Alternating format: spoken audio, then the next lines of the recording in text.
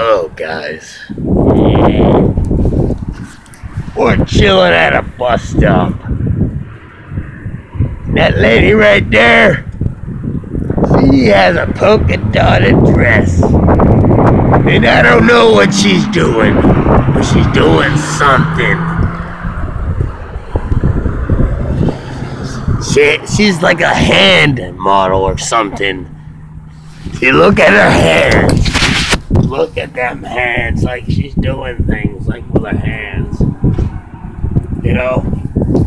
But I don't think it's cool enough, you know what I'm saying? So this man right here, like, he thinks something should happen about that. Mm, something should happen.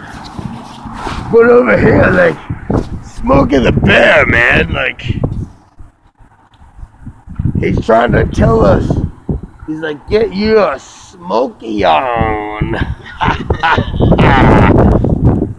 but you know, Smokey the Bear, Look at Smokey. this man, is a ball. he smokes himself. He is a 3D Smokey. And only you could prevent forest fires. Did you know he's independent? Look at the dude.